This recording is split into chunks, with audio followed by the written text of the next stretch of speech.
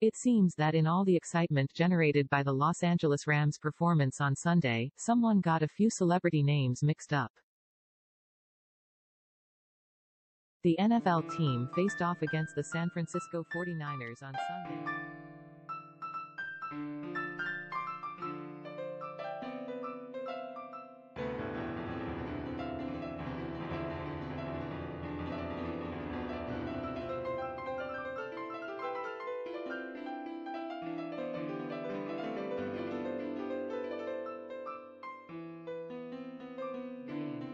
And Sean were showcased on SoFi Stadium's Jumbotron, but their names were listed as Gellar and her husband Freddie Prinze Jr. Furthermore, Sean, 33, was labeled as Gellar while Aiko, also 33, was labeled as Prinze. The stars in attendance caught the funny moment on camera and took to social media to pile on the jokes. At Big Sean do you get mistaken for me as often as I get mistaken for you?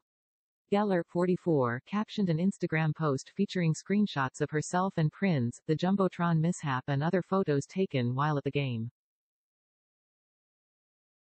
The Buffy the Vampire Slayer star also referenced the mix-up a number of times on her Instagram story, joking that it was her big moment at the game. It's funny though, not the first time I've been mistaken for at Big Sean, she joked.